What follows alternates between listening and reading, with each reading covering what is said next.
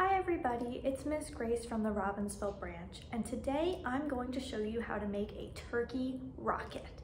But first, we're gonna talk a little bit about physics. Isaac Newton has three laws of motion, and the third law of motion states that every action has an equal and opposite reaction. And this is how rockets blast off into outer space. And the same principles are going to apply to the rocket that we make today. So first, let's try turning our bodies into a rocket ship. So everybody, I want you to stand up and we're gonna count down from five and on blast off, we're gonna jump up. Ready? Five, four, three, two, one, blast off. So when we just blasted off, something happened. Our legs pushed down on the ground and the ground pushed back on our bodies and pushed us up and that's how we jumped.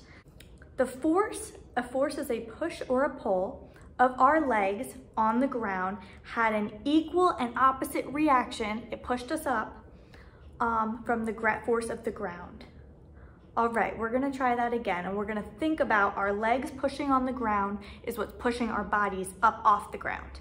All right, we'll count down from five, five, four, three, two, one, blast off!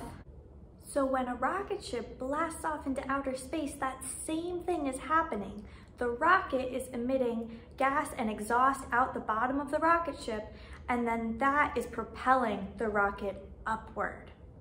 All right, and we're gonna see the same thing happen today with our balloon rockets, where the air is gonna come out the back of the balloon, but the rocket is going to go in the opposite direction.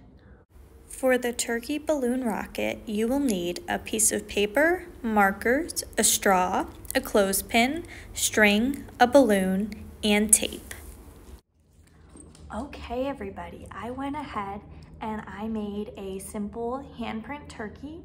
You could make a turkey look however you like. I used my hand, I traced my hand, and then I decorated it with markers and cut it out. After that, I set up my string. So you can see there are two chairs and a string between the two of them, connecting them. And I also attached a straw in the middle of the string.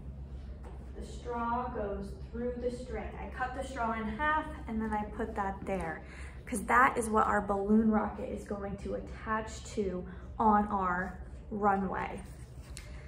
All right, the next step is to blow up your balloon. Okay, I blew up my balloon and I used a clothespin to tie off the end of the balloon. That really helps you um, to be able to attach the turkey. If you don't have a clothespin at home, just pinch it with your fingers to stop the air from coming out. And I'm going to tape my turkey on next. So I'm taping my turkey onto the balloon with the back of the turkey lining up with the back of the balloon so that my turkey goes in the right direction.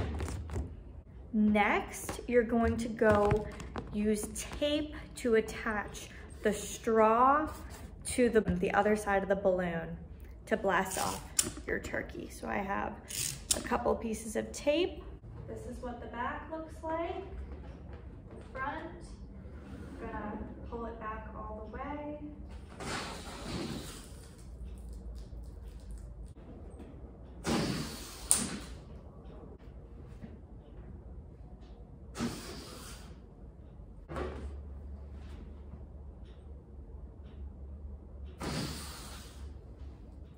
Thanks for making turkey rockets with me today. This is a very simple activity to do at home.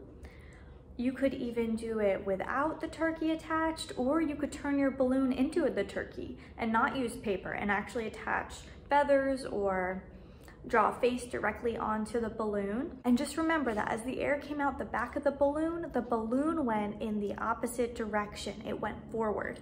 I'll see you next time.